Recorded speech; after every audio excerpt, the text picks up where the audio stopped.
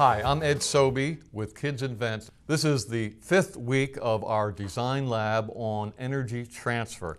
And today is the day when teams get to show what their device is that heats water. Uh, using solar power only, and to explain why they think theirs is a very good system.